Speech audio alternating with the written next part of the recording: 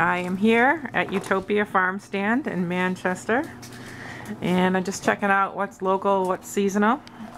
Hello, Hi, what's your name? my name is Kelly Atherton. And you work here? Yes, I do.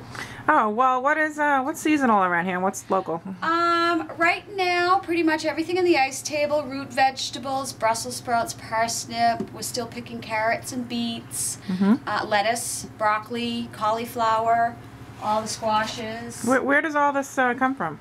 Um, bunch of local farmers and ourselves. We have 15 acres in Wenham, off of Cedar Street in Wenham on the old Boyden estate, currently the Fodor estate. And um, yeah, my son does all the growing, and he's partners here with his partner Marilyn Donati.